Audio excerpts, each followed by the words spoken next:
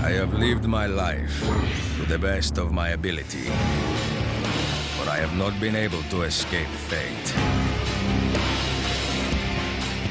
Anger. Or pain. Bring me the answers.